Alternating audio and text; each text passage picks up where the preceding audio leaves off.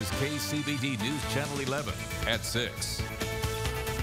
Good evening and thank you for joining us. We start tonight with breaking news out of Amarillo. The federal judge hearing a case regarding the FDA's approval of abortion-inducing medication has issued a ruling against the FDA. In his ruling, District Judge Matthew Kacsmaryk suspended the approval for the drug. This decision, however, will not go into effect for at least a week, giving time for the Justice Department to appeal. We will have more information on the ruling and the implications it has for the entire country tonight on News Channel 11 at 10.